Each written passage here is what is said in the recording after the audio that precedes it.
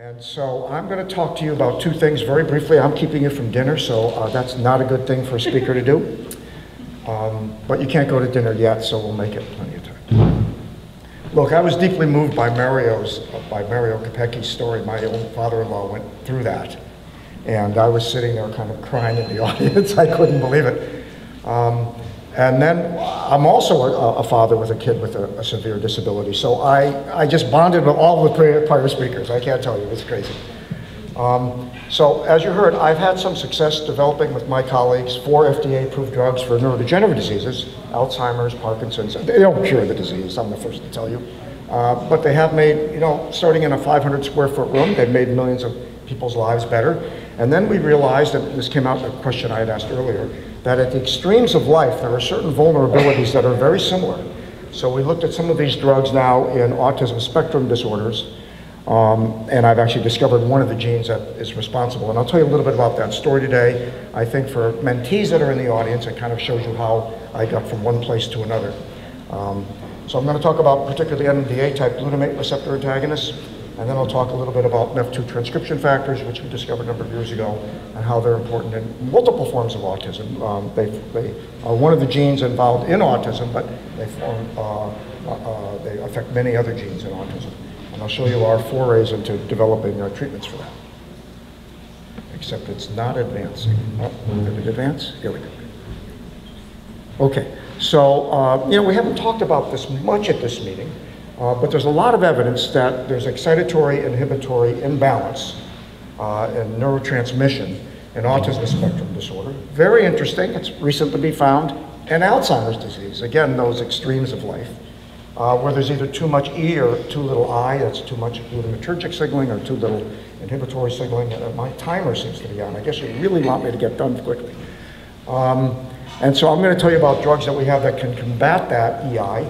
The one you probably all know, it, it's in a general class of drugs called aminoadamantanes. The one that's best known here in the US is, memantine that came out of our group. It was originally Eli Lilly drug that I discovered the mechanism of action at, patented it. And uh, Harvard, I was then at Harvard licensed to Forest Labs, now owned by AbbVie. And so that's known as Namenda in this country, Ebixa in Europe. Uh, and that actually normalizes EI in multiple, multiple models. And there's even um, evidence from gamma oscillations and other uh, EEG evidence that that actually occurs also in humans. So I'll tell you a little about that, and I'll tell you about Gen 2 of those drugs, a greatly improved drug um, and I'll also mention a, a, a clinical a trial that's about to start with the original drug in a, in a, um, in a pediatric formulation. Then I'll tell you a little bit about the transcription factor, specifically MEF2C, how it's involved in multiple forms of autism and intellectual disability. And that boosting its activity, and this is very important, came out in multiple other talks, many talks. Uh, um, is that you know life is a bell curve, so is your activity. Alysson showed this, all the speakers showed this.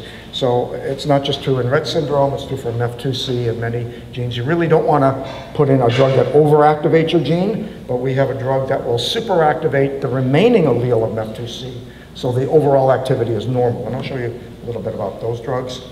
Uh, the way we've come up with several of these drugs is um, yeah, so I'm really privileged in life to be at Scripps Research now. Uh, there's amazing chemists at Scripps Research, won the Nobel Prize two years in a row. Um, just really amazing. Um, they've developed uh, what's called the Reframe Library. It's every drug on this planet that's made it through at least phase one trials. Um, and often we'll take those drugs or we'll make, uh, the chemists are so good, we'll make uh, small modifications of those drugs so we can get companies interested in them because now there's a patent and an IP portfolio. And I'll show you how we've used that to develop multiple MEF2 activators. Uh, and finally, I'll show you a little bit about how our MEF2 activator uh, corrects EI imbalance in human neurons. Okay, so let's start out with a little bit about MEF2C. I got into this field a little bit backwards. I discovered a transcription factor totally by mistake. I was looking for something else. Um, and it turned out to be critical in making nerve cells and certain innate immune cells, also B cells, particularly important in brain development, not just my lab, many labs have shown this. And basically it works as a transcription factor, goes down and sits down and turns out target genes that are important in neuronal survival, um, also in microglial development in the CNS. Um, and so, you know, we did what all scientists do. We, we used Dr. Capecchi's technology and we knocked out the gene or we added more of it, okay? And interestingly, when we knocked it out, and we weren't expecting this, we had a mouse with many of the features of autism, all the typical tests of marble burying, social interactions. The, uh, we, the more tests we did, the more we realized it really looked like it. I called Huda Zoghbi at that point and sent her a little movie of the mouse. And uh, the mouse also had some of this, but males had it, not just females, which is a typical of Rett syndrome, hand wringing. And um, interestingly, she said she had just found that MEF2 was in the MECP2 pathway, so it kind of made sense uh, that this might be a gene. So we published that, and within about a year, uh, there were hundreds of cases of human MEF2C haploinsufficiency. Um, and I'll talk more about that in a minute. So what we, obviously you all know this, one in 36 cases now, uh, but you might not know this. So Dan Geschwind, my colleague I um, collaborate with at UCLA, it's appropriate I collaborate with him since his uh, uncle Norm actually taught me neurology in Boston. Um, so MEF2C, there are not only rare cases, relatively rare cases of MEF2C haploinsufficiency by gene mutation, but it's also a transcription factor uh, that's involved in many other forms of autism. And this is by Dan's work, and here's one slide from Dan's work, and he showed there are uh, various hubs of genes involved in autism. I won't go through what the different hubs are, but you can see MEF2C actually, and MEF2A also, control many of them. So we've, we reasoned if we could get something that would work in a MEF2C model, it might also work in other forms of autism. And I'll show you, at least in our preclinical mouse studies, that turns out to be true. So let me tell you a little bit about MEF2C haploinsufficiency syndrome, since it's a relatively newcomer, although there, has been now a, a recent um, natural history study published um, with several hundred cases. Uh, so it, there's a, the gene obviously have to delete MEF2C, but we've worked uh, particularly on single point mutations because they're very tractable to CRISPR-Cas9. We can correct them and make iPS cells, and we have multiple sets from patients with their isogenic wild type control. Now, this is quite interesting. If you look for presumptive pathogenic variants in the UK Biobank, uh, Nick Schork, a bioinformaticist at TGen, did this for me. We find, remember, it's on, it's not on an X, it's on a sex-linked chromosome, so both males and females are affected. And there's between one in 1,000 and three in 1,000, so approximately 30-fold more prevalent than Rett. Now, we don't know if that's true, but just looking at the SNPs, we believe that's going to be true. So uh, it's probably only rare because we weren't looking for it.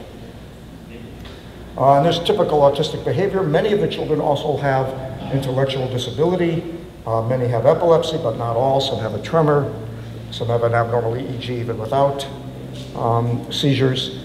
Uh, some do talk. I just have a patient in my practice now who talks very well. The diagnosis was actually made late. They were floored that it was MEF2C haploinsufficiency. Uh, so quite a spectrum, uh, even in this one uh, genetic disorder. So disease models, um, like what you heard so eloquently from Alysson, we also have IPS-based models, both 2D and cerebral organoids. We talked to Alysson a lot. A lot. He's actually on the on the uh, on uh, the PhD panel of one of my students. Um, and so we've made with CRISPR-Cas9, as I said, uh, several isogenic wild-type controls that we can pair with our mutants. And we also have a, both a MEF2C conditional knockout and a MEF2C heterozygous knockout. Um, we have it conditional in the brain. We also have it all over the, uh, uh, throughout the body. And uh, that's actually been published. I'm not going to go over today, but the drugs I'm going to talk to you about actually have worked in that models, published in Nature Communications a few years ago now. And I'll tell you a little bit about that drug in a minute. So this you heard, really heard from Alysson. He's going to save me a lot of time, get you to dinner quickly. We use these disease in a dish models. We make our iPS cells kind of the usual way. Excuse me. Uh, this kind of just takes you through the disease, um, how the cells develop. You've seen all these pictures from Alysson. Okay, here's one that's different. When we um, have them by one month, or we, you know, we've grown them out to a year. I wish I had some water. We find, interestingly, if you look at neuronal and astrocytic markers, uh, we knew MEF2C was important from our mouse work in development of neurons and in neural connections and synapses. And indeed, if you look at, say, GFAP staining, which could be astrocytic or radial glia, you see the MEF2C, there's very little MAP2, a neuronal marker. I don't know why it's jumping like this. And there's much more S100B, a legitimate astrocytic marker, in the MEF2C haploinsufficient cells here. I don't know why it's jumping. What have done to me here?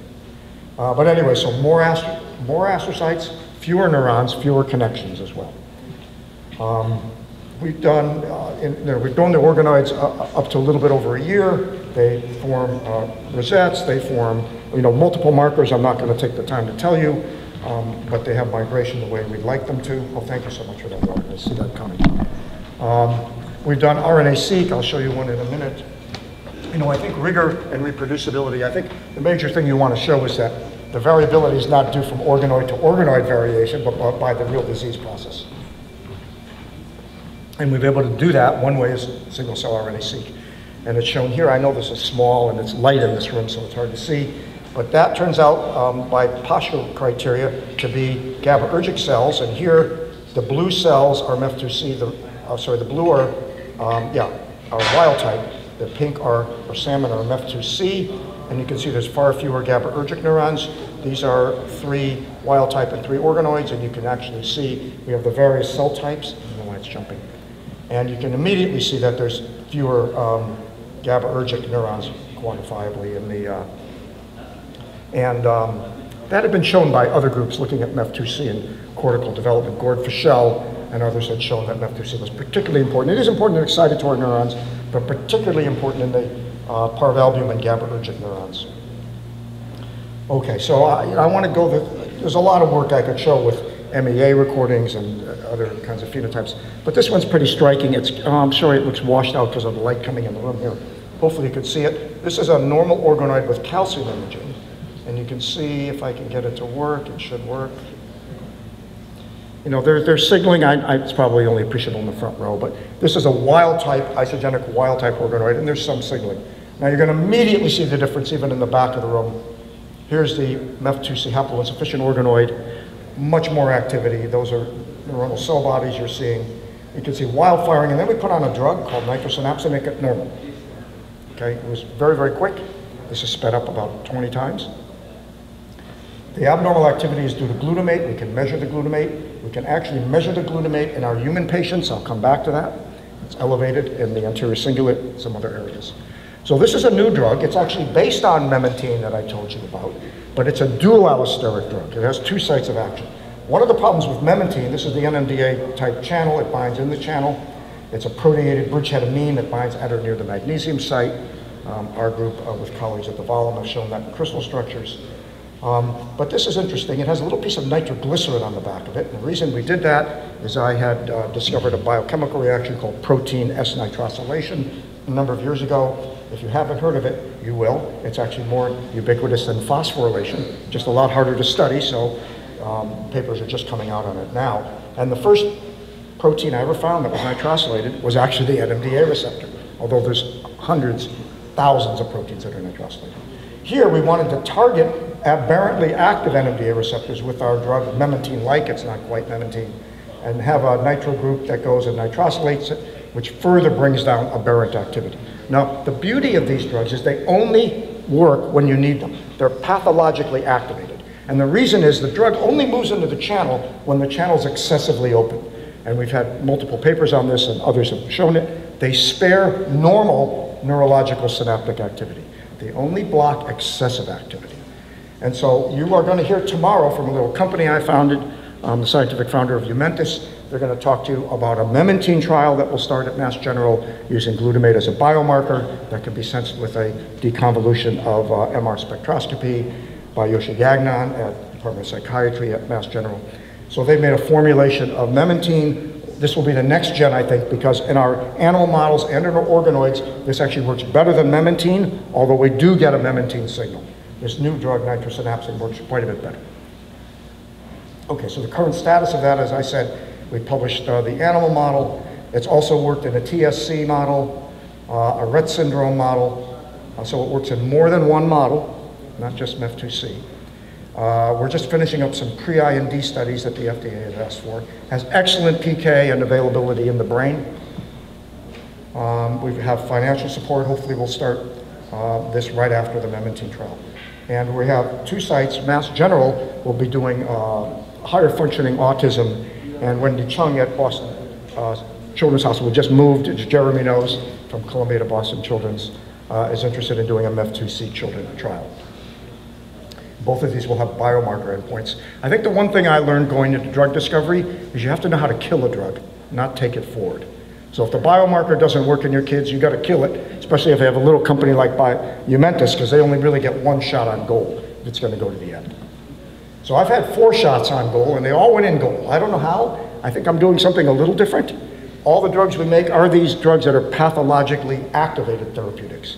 Now, the initials there, I came up with this late one night, is a PAP, right? A gentle tap. Our drugs are actually fairly low affinity, but they only work when you need them to work. This is our target profile. You know, I'm running late, and you don't need to hear this, but we have a target profile with biomarkers uh, buried in here of how we're going to look at it in patients. I want to take uh, five minutes to tell you about the second strategy, particularly from MEF2C, but I think it'll work in others because, as I mentioned, the transcription factor MEF2C does drive other genes involved uh, in autism. So in this case, we want to normalize the aberrant MEF2 activity. And we, we've looked at this very carefully in our isogenic versus uh, MEF2 haploinsufficient uh, IPS-derived neurons. And most of them have really about half the activity. So we wanted a drug that would just double the activity of MEF2 on a, say, reporter gene assay. So we carried out a high throughput screening with the Reframe library and other libraries at Scripps to look for transcriptional activators. We've identified five candidates that, interestingly, have already been in people, several of them in advanced trials. And the beauty, I think, of our, all of these drugs have had some side effects, even though one of them is approved. But interestingly, we use about a tenth the dose that's needed because we can calibrate the dose to MEF2 activity.